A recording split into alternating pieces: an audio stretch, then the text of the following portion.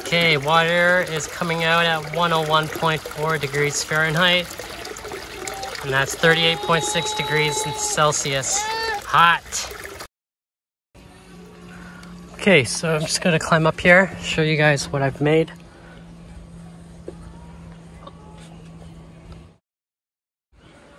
So this is the solar pool heater. Got the copper coils in here um, with aluminum flashing sprayed in black, plus the windows, keep it kind of like a greenhouse, just kind of baking the hot temperature in there.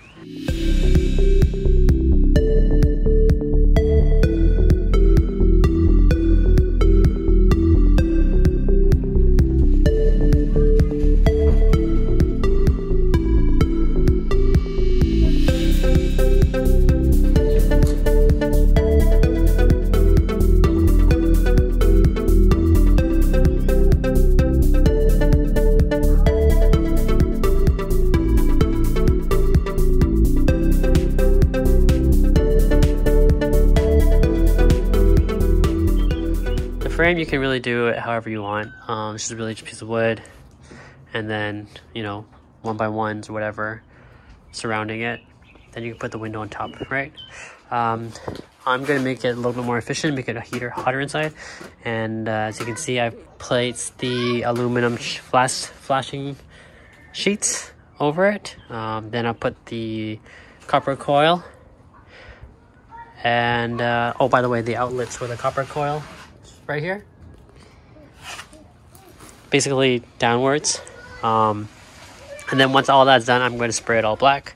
Then we'll put the window uh, frames on top, weatherproof it, and it's up. It's going to go onto the uh, my roof. There's 50 feet of it. I'm not sure. It looks like it's going to fit perfectly. But uh, basically now I'm just going to untangle it and just make it fit perfectly. And then the ends will go through the holes there. Making this coil with the copper is coming along. Um, fitted an adapter here, and then now it runs along and I'm using these copper anchors, or these copper clamps, and uh, putting them in place. As you can see here, actually looks pretty nice. And uh, yeah, it's coming along. Um, since I'm using a half, I'm using a half inch uh, pipe, it is a little bit hard to uh, wrap it around in a perfect circle. But uh, I think it looks pretty good um, for what it is. And it, obviously it should do the should do the job. Um, but yeah, so I just have a little bit left and I may or may not be able to come out this outlet that I've already made. So I think just naturally, since it's twirling this way, it's gonna come out here. Okay, so let me just finish this and then uh, we can move on to the next step. So this is pretty much going to be the final product in terms of laying out the uh, the copper. So basically I just, yeah, went from there, did a spiral, and then at the end, yeah, I was able to just wrap it back out. So I just need to make that hole a little bigger and uh, have that come out. Yeah, just make sure you have these guys. They were very helpful. Um, I know some people uh, use zip ties, uh, but I think this would be the best way because zip ties are, there's going to be a lot of heat here. So um, you want everything to be metal. Okay, so I have the, uh, the input and the output, the fittings, pretty much this thing's done and uh, now I'm just to spray it black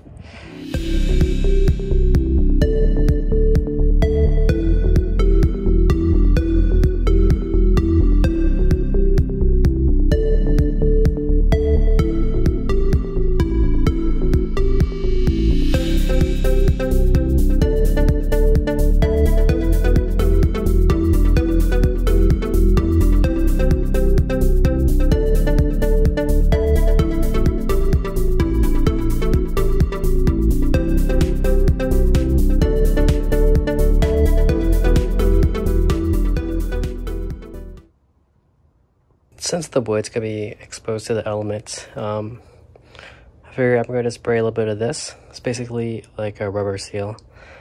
And uh, I'm gonna spray it over the wood just to protect it a bit.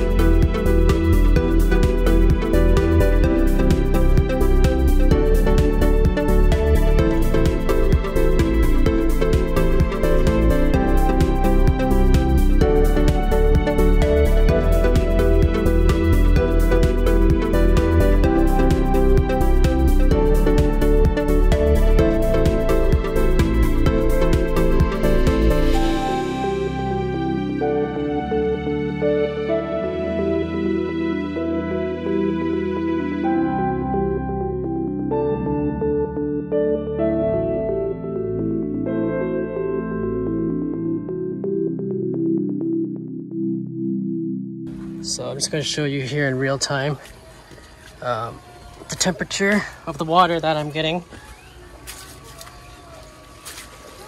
Water flows down. Uh, it gets it gets pumped out and then it goes so temperature coming out is currently 37.1 Celsius and in Fahrenheit that's 98.7. That's at a constant temperature. So yeah, works really well.